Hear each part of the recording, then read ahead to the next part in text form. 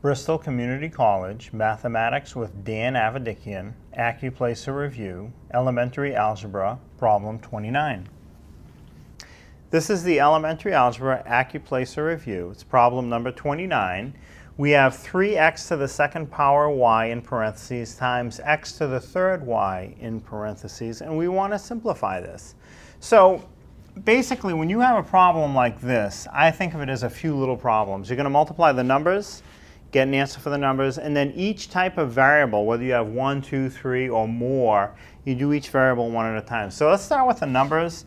The number for the first set of parentheses is 3, and the second set of parentheses, there's no number written, but you can assume it's a 1. That x to the third y, it's really like 1x to the third y. So my number times a number, 3 times 1 gives me a 3. Now multiply your x's. Ignore everything else. Just focus on the x's at this point. You have x to the second times x to the third. And when you multiply two things with the same base, you want to add the exponents together.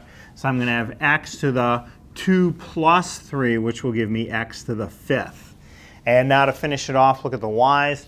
You have y times y. Now there are no exponents written. Again, assume each one is a first power.